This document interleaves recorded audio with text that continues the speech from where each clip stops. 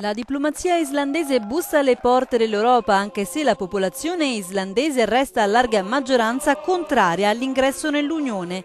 I negoziati per l'adesione sono iniziati a Bruxelles e l'Islanda ha già chiuso due capitoli. A questo ritmo il paese potrebbe sorpassare altri stati candidati da più tempo. Nessuno dovrebbe sentirsi dimenticato perché ogni processo di adesione è unico, ogni Stato è giudicato sulla base del merito e l'Islanda è avvantaggiata perché da 17 anni fa parte dello spazio economico europeo. La questione più spinosa resta la politica europea della pesca. Reykjavik teme che altri paesi europei peschino eccessivamente nelle proprie acque. Al ministro degli esteri islandese abbiamo chiesto se volesse delle deroghe per proteggere il settore settore della pesca islandese. Non abbiamo bisogno di deroghe, ha dichiarato in questo caso, abbiamo bisogno di una certa stabilità, che significa che gli Stati devono rispettare le proprie quote di pesca.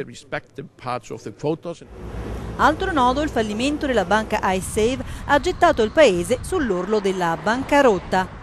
Crack finanziario e politica della pesca sono le principali questioni aperte. Resta da vedere se gli islandesi che hanno già mostrato il loro spirito ribelle vogliono veramente aderire all'Unione. Secondo il governo di Reykjavik tutto dipenderà dal raggiungimento di un buon accordo sulla politica della pesca.